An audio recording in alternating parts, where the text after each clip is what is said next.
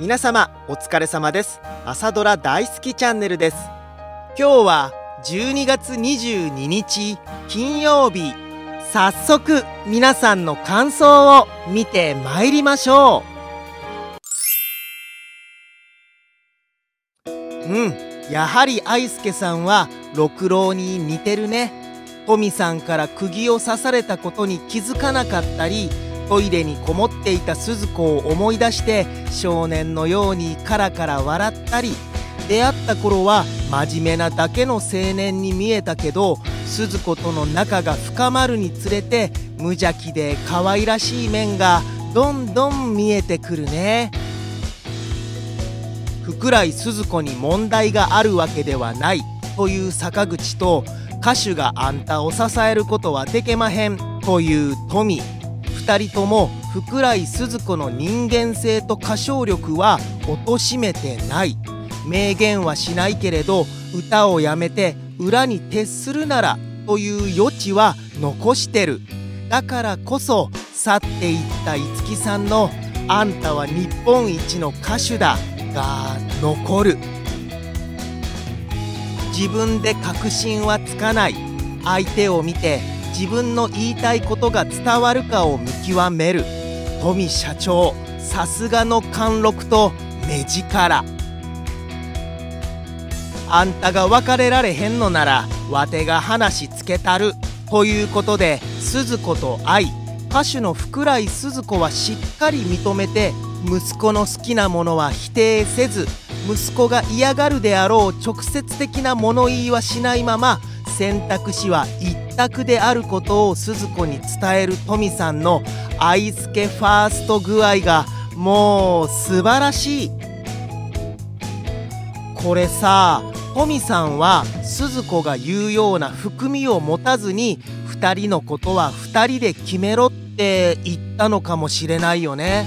鈴子にはあえて別れろと伝わる言い方をして手切れ金にも屈しなかった鈴子をさらに試しているのかも。そう考えると恐ろしくやり手というか鈴子と愛介さんでは太刀打ちできないボスキャラになるよな。怖い怖い村山富でも恐怖でしかない空襲警報ですら2人の恋を加速させる追い風となってしまう。障害があればあるほど燃える鈴子と愛介さん。世界は2人でした。というナレーションのまんまだ。最低限のことだけを伝えてあとは2人でよう考えなはれ。という富の言葉を認めてくれたんかな。と受け取ってしまう愛介さんときっぱり別れろ言うことや。と富の真意が分かってしまう鈴子。未熟なボンと手だれの歌手救済さの描き分けが見事だと思った。災害や災難はこちらの都合なんて関係ない。食事中でも入浴中でもトイレに入っていようと容赦なく襲ってくる。このドラマではコミカルに描いているようでそれは誰にも起こりうることだとドンと突きつけてくる。空襲は今後頻々とやってくるのだから何をするにも様子を伺いながらの生活になったんだろうな。こちらの状況などお構いなしに襲ってくる空襲と同じように鈴子と愛介の恋も母親の反対や戦争の激化などお構いなしにどんどん進んでいく。空襲と恋をこんなにも対比表現しているドラマは初めて見る気がするよ。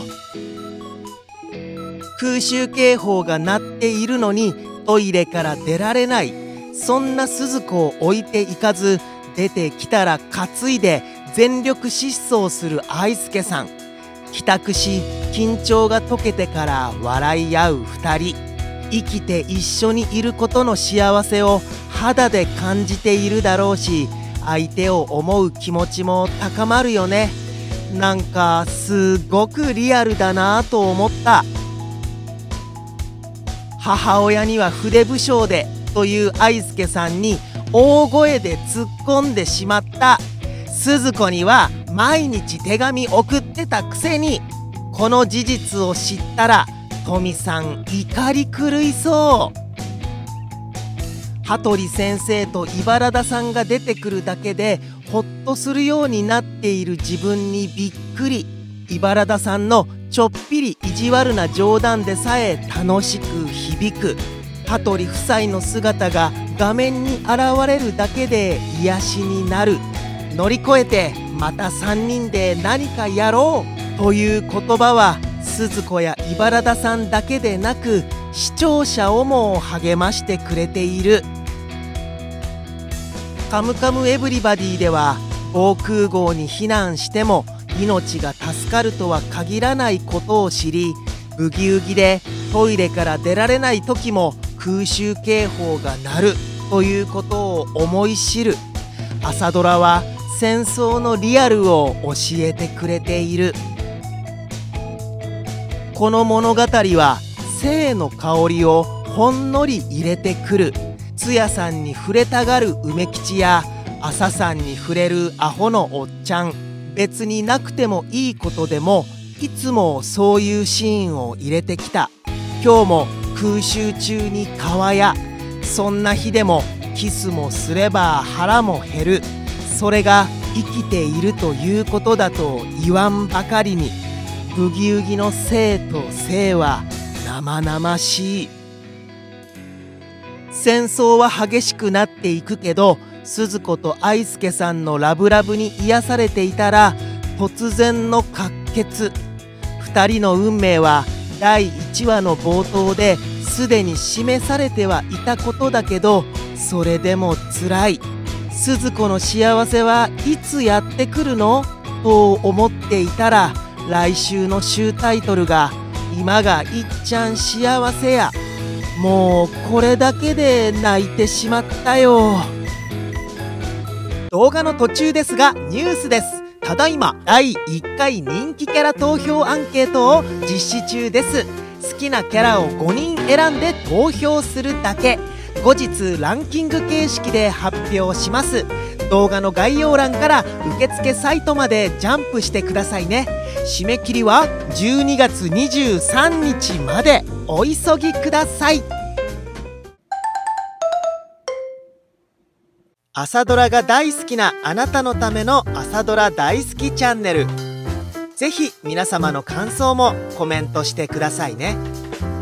誰かと朝ドラの話がしたいけれど周りで見ている人がいないという方も多くいらっしゃいますよね。是非この動画のコメント欄で朝ドラについて語り合っていただければと思います。僕も全て読ませていただきますね。お待ちしています。そしてこの動画を少しでもいいなぁと感じていただきましたならば是非チャンネル登録と高評価をお願いします。やり方がわからないという方は画面の下説明欄にやり方を載せていますのでそちらをご覧くださいませ。今後の制作の励みになります。よろしくお願いいたします。それではまた次回の動画でお会いいたしましょう。ご視聴ありがとうございました。お疲れ様でした。